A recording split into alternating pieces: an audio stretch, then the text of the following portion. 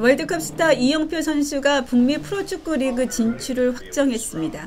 지난 7일 밴쿠버 화이트캡스의 홈구장인 BC 플레이스에서 한국 대표팀의 간판 수비수로 활약했던 이영표 선수는 밴쿠버 화이트캡스에 입단을 확정하고 입단 계약에 사인했습니다. 어, 얼마나 팀이 계속해서 발전하고 있다는 걸 보여줄 수 있는 그런 시작이 되는 한 시즌이 될 거라고 생각합니다. 북미 프로축구 리그 및 팀 규정에 따라 상세한 입단 조건은 공개되지 않았지만 계약 기간은 옵션을 포함할 경우 총 2년인 것으로 알려졌습니다. 이영표 선수는 밴쿠버를 포함해 각기 다른 리그의 6개 팀에서 활약하면서 이색적인 기록을 갖게 됐습니다. 한편 화이트캡스의 내년 시즌 첫 경기는 3월 10일 BC 플레이스에서 열리며 상대는 몬트리올 임팩트입니다. 이영표 선수는 한국에서 연말을 보낸 뒤 내년 1월 중 팀 훈련에 합류할 예정입니다.